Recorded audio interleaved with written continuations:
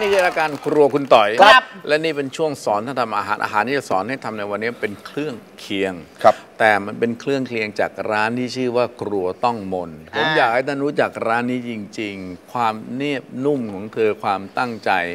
และกระบวนการในการทำงานของเธอนี่เหลือเชื่อจริงครับโดยจริง ๆ แล้วอะเธอทำงานเนี้ย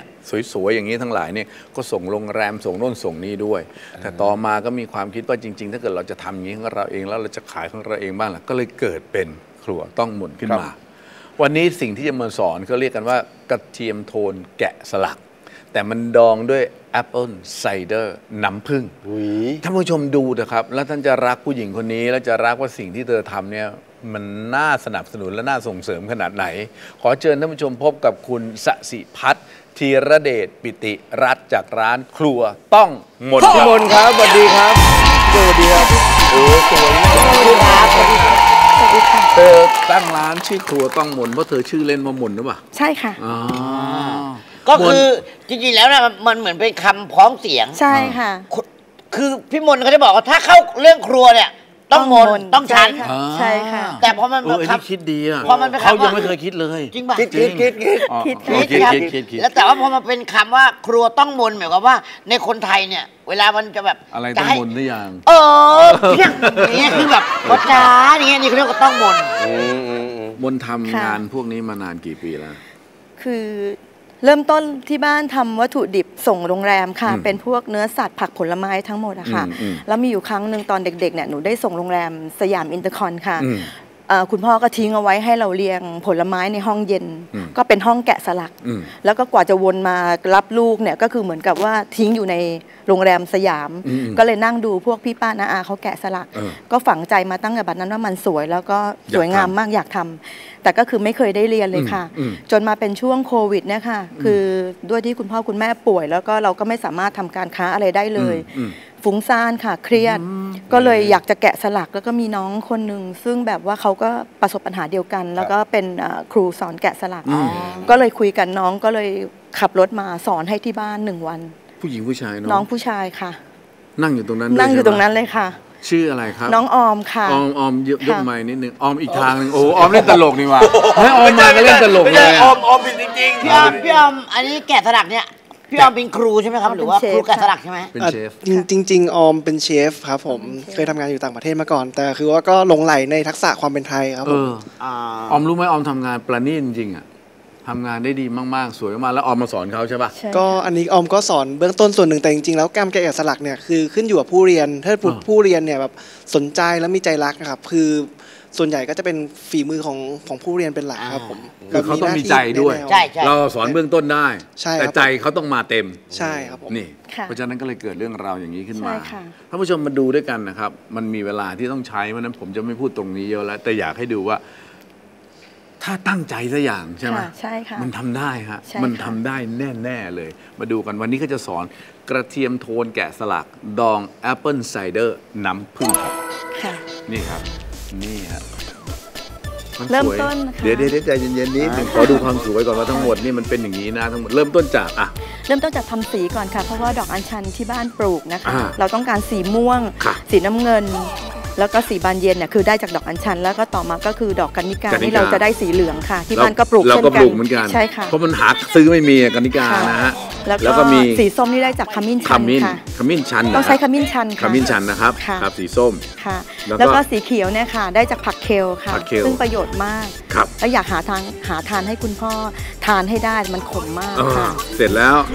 ก็อ่าแกะสลักผักค่ะ ก็เริ่มจากแครอท ครับพ วกนี้ก็จะมาแต่งโหลแต่งให้สวยเหเข้ามือใจนกันเข้าใจใช่ค่ะ คือว่าในโหลที่จะดองกระเทียมมันจะต้องมีแครอทมีอะไรใช่ค่ะให้พอมันแกะเสร็จเป็นสีสันเอาไปแช่แล้วก็น้ำเย็นบีทรูซะทก่อนค่ะนะใช่ครับค่ะบีทรูทก็เหมือนกันครับใช่ค่ะแกะสลักบีทรูทแบบเดียวกันนะใช่ท่านผู้ชมค่ะ แกะยังไงก็ได้จะเป็นใบอะไรที่ท่านชอบใช่ค่ะนะฮะแล้วแต่ฝีมือของท่านแล้วเสร็จแล้วก็แช่น้ำเย็นใช่ทิ้งไว้ ค่ะน็อกน้ำเย็น เสร็จกระเทียมโทนเนี่ยเวลาค่ะเลือกเลือกยังไง เลือกทีละลูกเลยค่ะ เขาเลือกทีละหัวเลยและต้ต้อองงได้กลมหัวใหญ่กลมใช่ค่ะแบบนี้ ใช่ค่ะ ตัดตูดมันทิ้งใช่ค่ะ แล้วก็แช่น้ำเย็นแช่น้ำเย็น ค่ะ ล้างเอ่อความฉุนความเผ็ดของเขาแล้วครับ ถึงนำมาแกะสลัก เริ่มแกะสลัก อันนี้ค่ะก็เริ่มเรียนแล้วท่านผู้ชมก็มีมีดแกะสลักแบบนี้ ดูค่ะค่ะ แกะจนเป็นดอกอย่างนี้เลยใช่นะ ค่ะ เสร็จแล้วเราก็เรียงใส่โหลค่ะ ครับ เพื่อที่จะเอาไป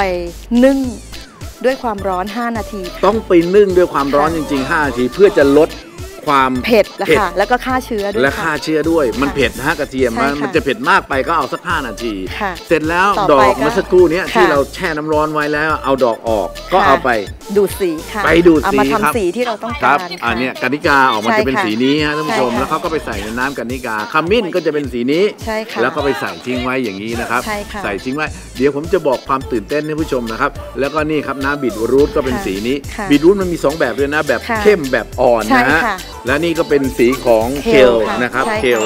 แล้วก็ ต่อไปก็ทำน้ำปรุงค่ะ นี่ครับเราใช้แอปเปิลไซเดอร์ 500 มิลลิกรัมนะครัคะบ เออมิ ครับผมค่ะ500 แล้วก็เป็นน้ำส้ม น้ำส้มสายชูต้องใช้เป็นหมักข้าวหอมมะลินะคะ 500 แล้วครัก็บน้ำต้มสุก 500 ค่ะ สามอย่าง ใช่ค่ะรตาวมมด้วยกันน้ำตาลกรวด อีก 2 ช้อนโต๊ะสองช้อนโต๊ะ ค่ะ แล้วก็เกลือสีชมพู 1 ช้อนโต๊ะค่ะ อันนี้เป็นน้ำปรุงนะท่านผู้ชม ใช่ค่ะใส่อย่างนี้ก่อน ใส่อย่างนี้ใช่ไปค่ะ เรียบร้อยก่อนนะครับ ค่ะเสร็จแช่นานเท่าไหร่ครับ เอ่อเราต้องเอามาให้เสด็จน้ำก่อนนะคะ มันแช่ไว้นานสักเท่าไหร่ครับหนึ่งคืนค่ะหนึ่งคืนนะท่านผู้ชมใช่ค่ะนี่คือหนึ่งคืน ค่ะแล้วมาเสด็จน้ำค่ะเสด็จน้ำก่อนนี่นะฮะค่ะ บนกระดาษซับเนี่ยเห็นเห็นอยู่นี่นะฮะ ค่ะ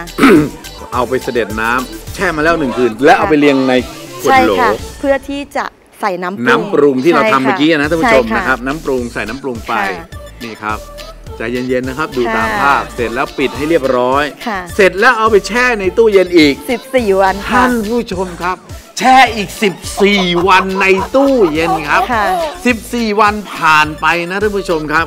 เรียบร้อยแล้วจึงเอาน้ำผึ้งค่ะ น้ำผึ้งมาใส่ใช่ค่ะในขวดโหลเมื่อกี้ค่ะแล้วปิดพักไว้หนึ่ที่งอุณหภูมิคืนห้องเนี่ยนะฮะใช่ค่ะหนึ่งคืนค่ะ เพื่อให้น้ำผึ้งละลายค่ะ แล้วจึงเอาไปแช่แช่เย็นตู้อีกเย็นอีก 7 วันอีกค่ะ7วันครับ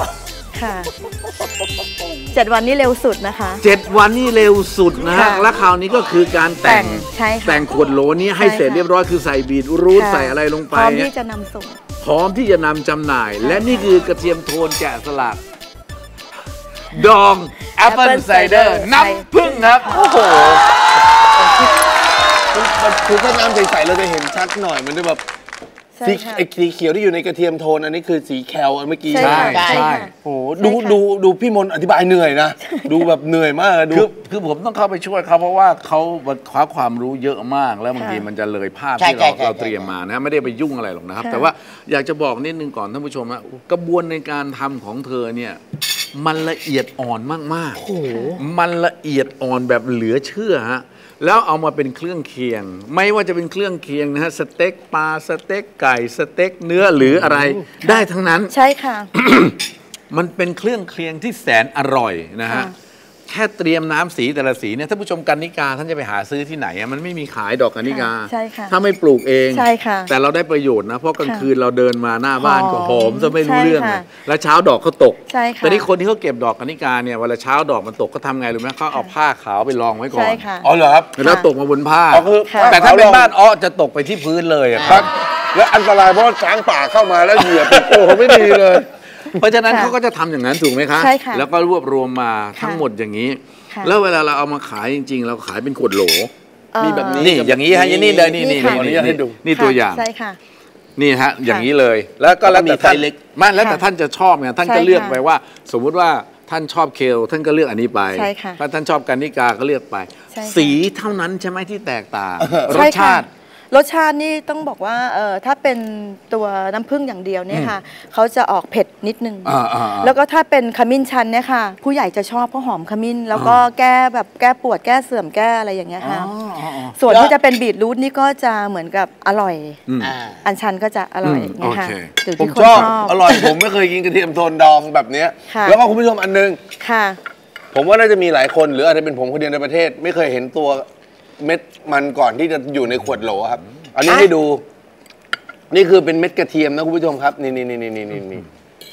อยู่ในมือแบบนี้เลย แล้วเขาก็ไปปอกเปลือกแล้วไปทำพี่อ๊อฟไม่เคยเห็น ไม่เคยเห็น ผมเคยเห็นแต่ไปอยู่ในขวดแบบนี้ แต่ไม่เคยจริงเหรอเห็นแบบแกะสลักเออเรากินอย่างเดียวไง หนูเนี่ยต้องบอกว่าเวลาไปเวลาไปที่ที่แบบว่าเขาขายกระเทียมโทนเนี่ยหนูก็จะซื้อมาเป็นถุงแล้วก็เวลากินข้าวอย่างเงี้ยอะ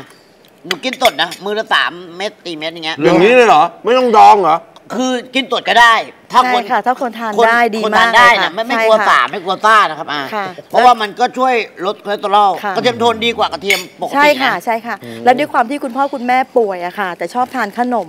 ก็เลยต่อยอดเป็นกระเทียมโทนบวชแล้วก็เชื่อมค่ะ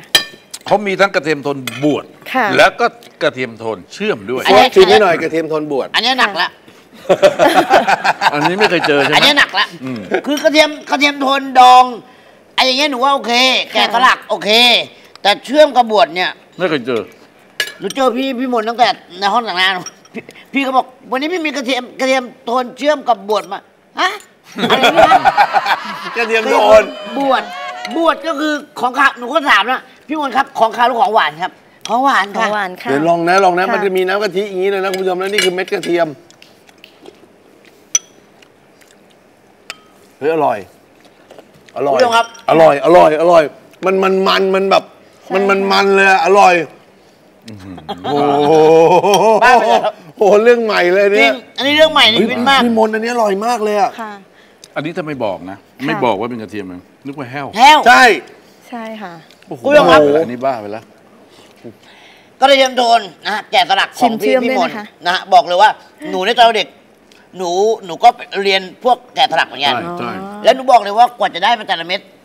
มันไม่ใช่ว่าใครก็ทำได้คุณผู้ชม ใช่ ต้องเอาเบามือแล้วต้องต้องใส่ใจ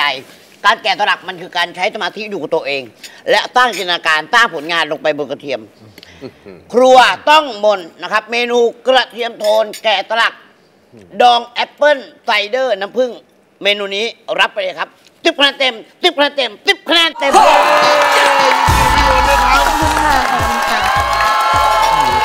เด็กเชื่อก็เชื่อมากเลยอะโดยเฉพาะไอ้บวชเนี่ยนะกับไอ้เชื่อมเนี่ยมันเหลือเชื่อมาก แต่ไอ้ไอ้เนี่ยไอ้นี่คือสุดยอดแล้วไม่ได้พูดเล่นสุดยอดจริงนะผมฝากท่านผู้ชมนะฮะติดตามกันเอาเอง ผมไม่มีอะไรกับเขาผมอยากสนับสนุนนะแล้วเขาขายอันเนี้ยผมว่าถ้าเกิดเอาไปให้ผู้หลักผู้ใหญ่นะชื่นอกชื่นใจมากเลยโอ้ยชอบเท่าไหร่อันนี้ 750 บาทนี่ค่ะ750 นะครับไม่ได้โอเคไม่ไม่ได้ถูกนะฮะใช่แต่ไม่ได้ถูกกระเทียมแต่ก็โบราณไม่ได้แพงฮะ กระเทียมโบราณใช่ไหมฮะมันต้องเข้าใจแพงก่อนว่าไม่ได้ถูกแต่ก็ไม่ได้แพงค่ะแต่เวลาเราจะเอาของไปให้คนอะ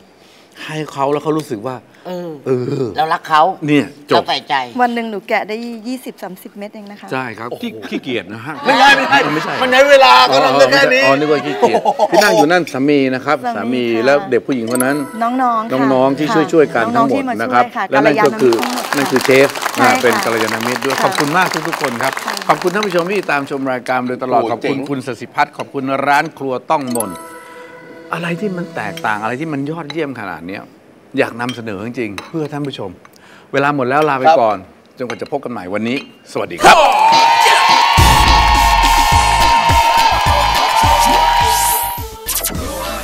เป็นเรื่องราวที่คนรู้เกี่ยวกับเห็ดชิมเม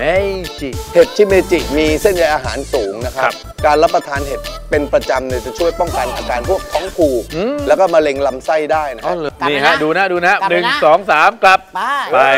ไปแล้วครับนั่นไปแล้ว ขนม เหรียญสิบชีสสายรุ้งครับ ต่อให้กินแป้งเปล่าๆของเขาโดยไม่โดนชีสเลย ยังอร่อยคือมันไปต่อกับเมนูอื่นได้อีกอะโอ้โหอร่อยมาก รสชาติมันเข้าคนไทยคนจริงยืนไม่เป็น